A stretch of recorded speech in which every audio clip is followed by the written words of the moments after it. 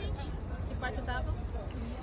Falando da... Da esplanada, muito bem. Então, olha só. Exatamente. Então, gente, olha só. A questão do terceiro templo que vocês me perguntaram, né? Se o terceiro templo vai ser reconstruído, ele tem que ser reconstruído aonde, gente? Tá certo? Então, vocês já responderam a pergunta de vocês. Quando isso vai ser? Só Deus sabe. Só Deus sabe. O preço disso? Guerra. a terceira guerra mundial. Tá certo? Então, se você ainda não está vivendo a terceira guerra mundial, é porque o negócio não aconteceu ainda. Tá certo? É assim de simples, gente. Tá bom? Muito bem. Então, olha só. Aqui na esquina vocês estão vendo uma cúpula cinza. Estão vendo? Sim. Aquela sim é a mesquita, a mesquita de El Aqsa? Vocês estão vendo o pátio vazio. Hoje é sexta-feira, verdade? Sim. Sexta e sábado é proibida a subida dos turistas ali. E quando nós podemos subir, a gente só pode ficar no pátio. A gente não pode entrar nos monumentos. Isso desde quando? Isso desde o ano 2000, quando houve a intifada. A intifada foi uma revolta árabe. E aí eles proibiram a entrada dos não muçulmanos. Apenas os muçulmanos podem entrar ali dentro, tá certo? Agora, aquele local, em termos de segurança e de administração, é cuidado por Israel. Tanto que quando vocês sobem lá, toda a polícia que vocês veem ali é de Israel. Tá certo? É Israel que faz a segurança, é Israel que faz tudo. Porém, questões religiosas, aquilo pertence aos muçulmanos. Tá certo? Questão religiosa. E quem manda ali na realidade é o Sheikh Hussein, que é o é, rei da Jordânia. Certo? É ele que é responsável. Isso porque foi feito um tratado com a Jordânia em 1967. Israel fez esse tratado, tá certo? E deixou as coisas num status chamado, um acordo chamado status quo. Status quo diz que as coisas ficam como estavam, tá certo? Israel não quis tocar nisso no momento, porque nós, Israel estava acabando de sair da guerra dos seis dias, tá certo? Israel tinha ganho a Serra dos Seis Dias, Israel não quis aumentar o negócio. Então, vamos manter a coisa como está, tá certo? Mesmo porque, dentro de todos os acordos que Israel tem com todo mundo, inclusive com as Nações Unidas, né? Na criação do Estado de Israel, porque veja, nós não temos uma população 100% judaica dentro do Israel. Nós temos uma população heterogênea. Então, o que Israel disse? Nós vamos preservar o direito de todo mundo exercer livremente sua fé, seja a fé que seja. Por isso que Israel é considerado o único país democrático do Oriente Médio. Israel é o único país do Oriente Médio onde os cristãos não são perseguidos por exercer a sua fé. E isso não tem preço. Israel quer manter isso, tá certo? Então já que tem que manter para todo mundo, né? Então Israel faz questão de manter isso, porque isso é o que faz dele um país democrático. E isso é o que faz dele ter argumentos para poder, não, mas a gente respeita. Tá certo? Nós não perseguimos ninguém pela sua fé. Isso é uma verdade em Israel. Israel não persegue ninguém pela sua fé. Todos têm o direito de exercer livremente a sua fé. O que não pode ser feito aqui é proselitismo. O que é proselitismo, gente? O que não pode ser feito em Israel? Proselitismo. Sair pregando, seja a religião que for. Isso aqui é proibido. Isso é proibido por lei. Tá certo? Não pode ser feito em Israel. Tá certo? Agora o resto, cada um exerce sua fé. Ado, ado, ado. Cada um no seu quadrado. Isso aí Israel não se preocupa. Mas fazer proselitismo aqui. Vocês viram alguém fazendo proselitismo? Não existe. Certo? Muito bem. Olha só.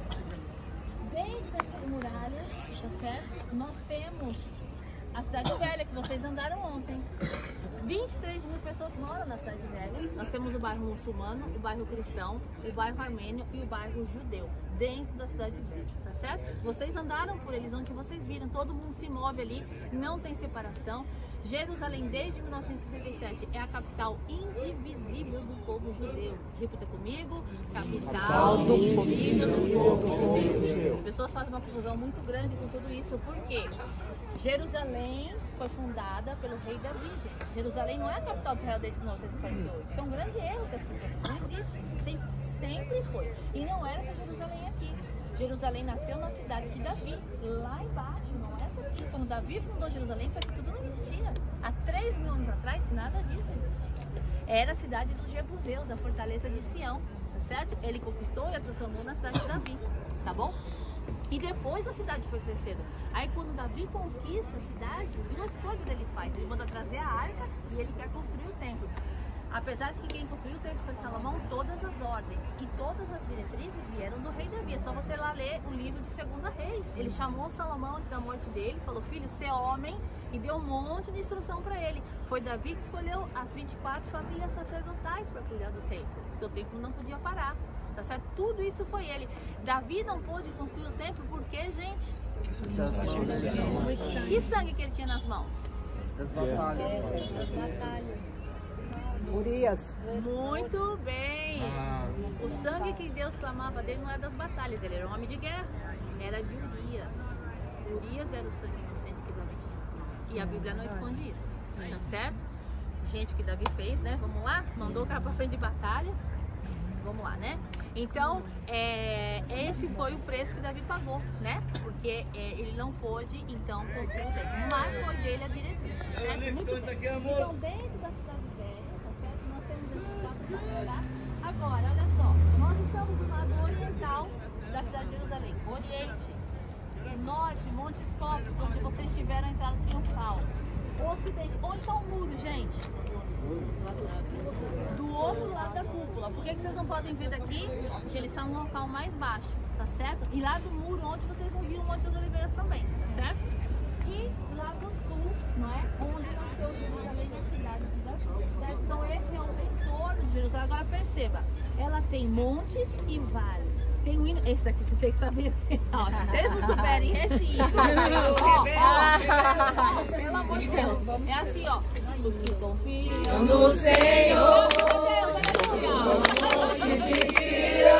e não se abalam.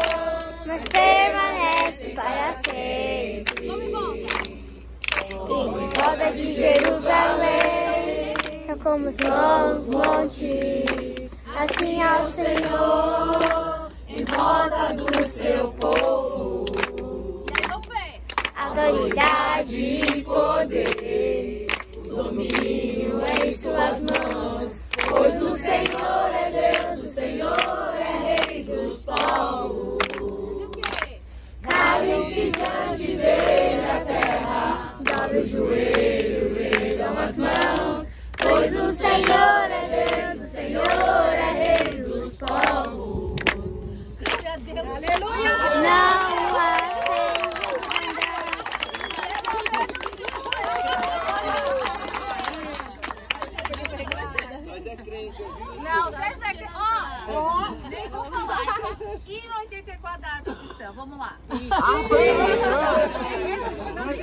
que, que é harpa cristã?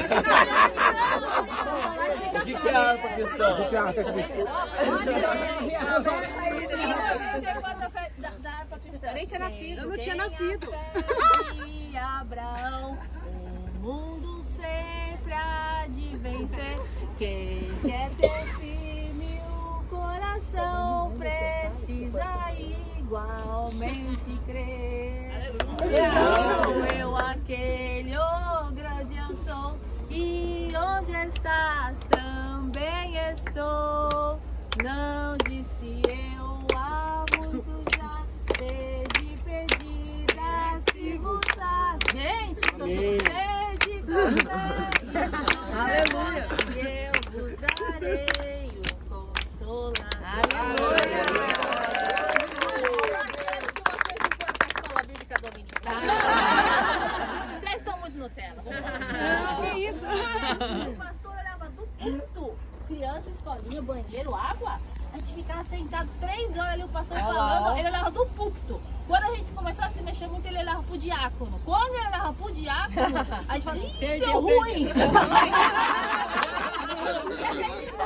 A gente já sabia que o diácono ia vir delicadamente.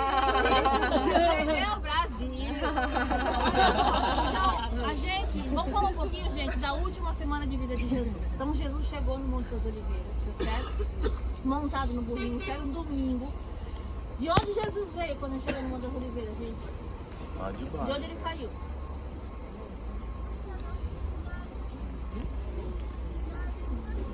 Ele tinha ressuscitado lá. Onde fica a casa de Lázaro?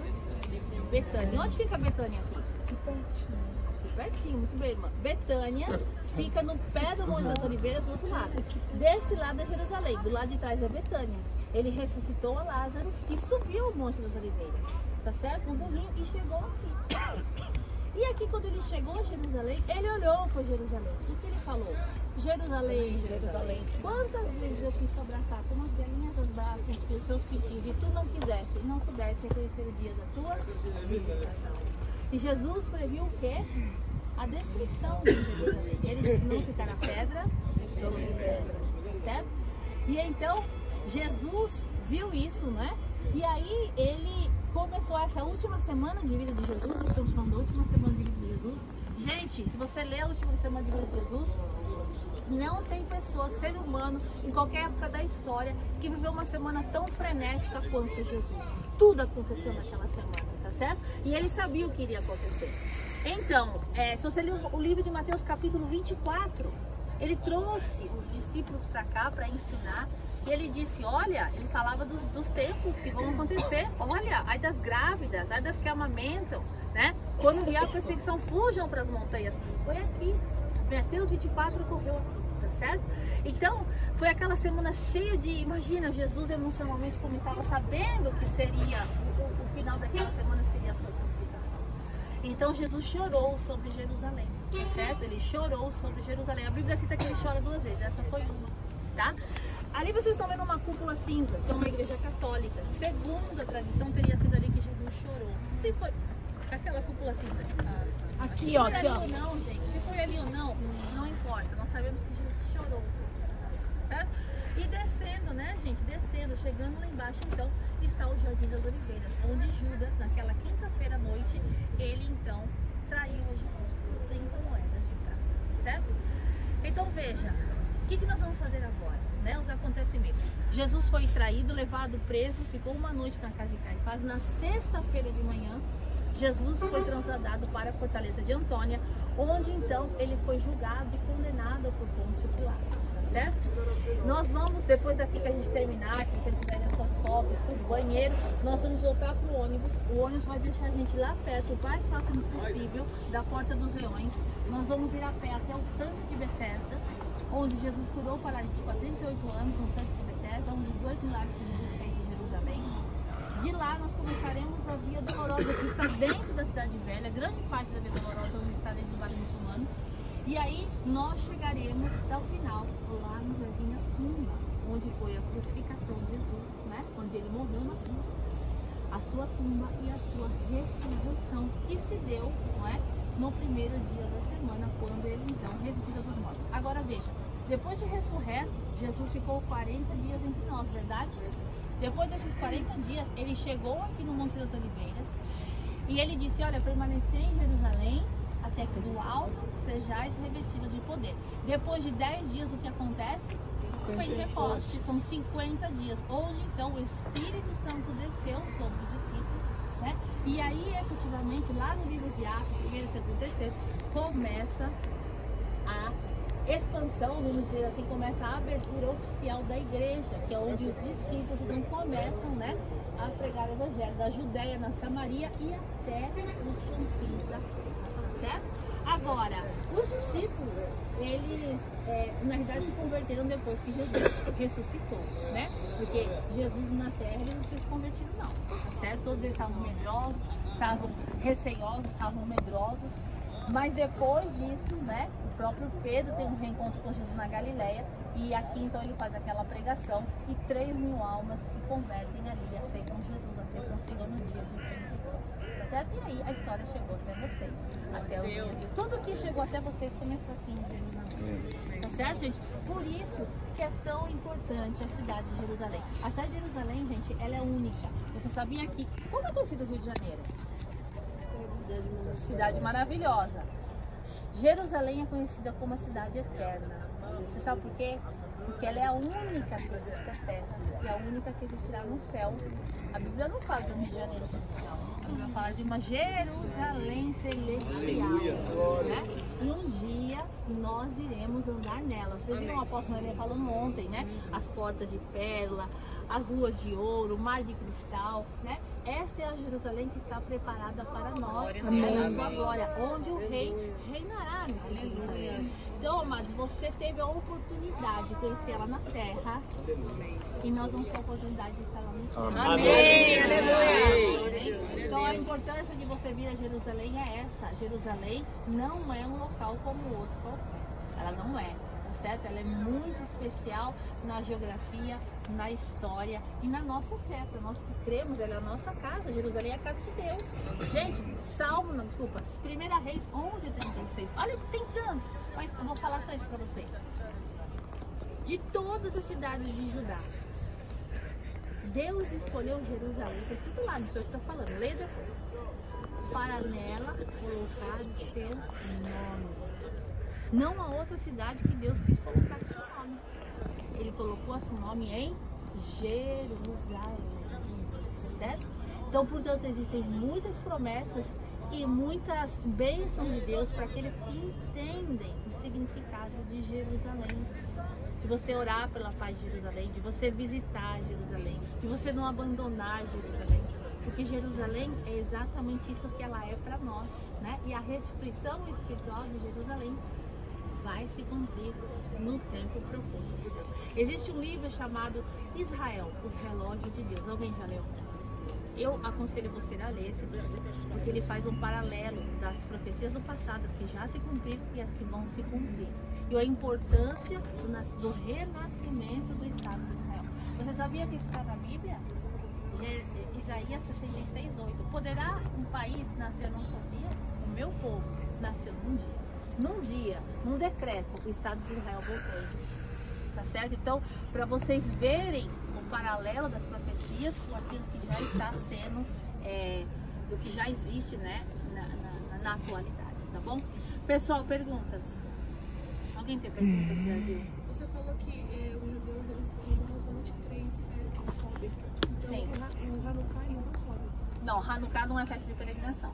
Eles podem até vir, mas não é festa de peregrinação, tá? Hanukkah simboliza a purificação do templo na época dos gregos, mas não é a subida a Ciel. A subida a Ciel são só nessas três grandes festas. Por quê, gente?